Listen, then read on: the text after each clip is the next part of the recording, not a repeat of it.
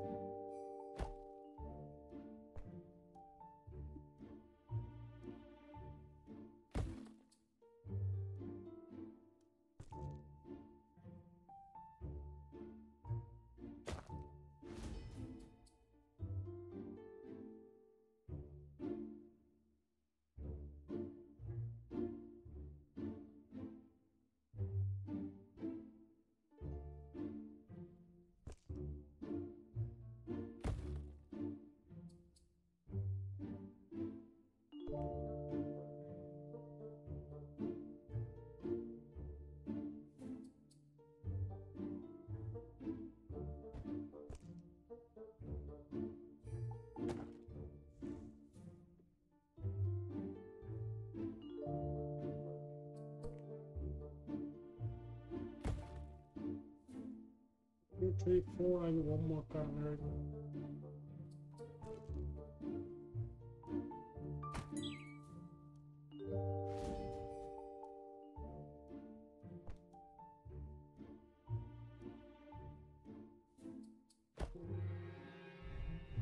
Maybe.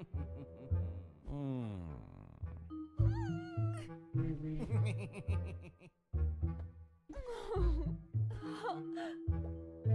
Shows a dark. Uh, of dollars in the darkest shadow. The darkest shadow. So clear, boss. Trying. Okay. Okay, we made a 40 score, so okay. What are you doing here? This will be the most ever real ever seen, so back off. I didn't know how it was such a hard catch. Yeah. Oh. I'm not a cat.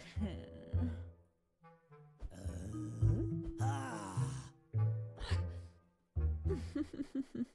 ah, ah.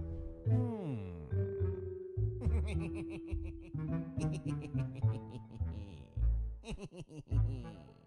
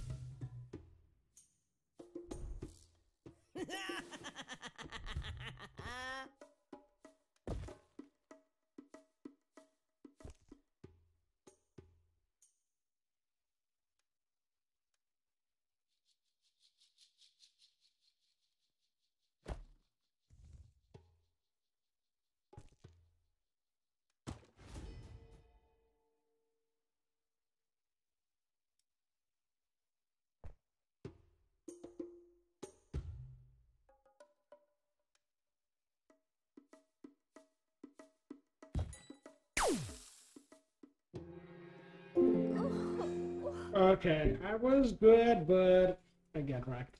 Alright guys, I will keep this video short because I can't understand. It's a pretty cool puzzle game with ups and downs. If you like what you see, you can find uh, it on the game description as well. Well, that's all I can say. Thanks for watching. I hope to see you next time.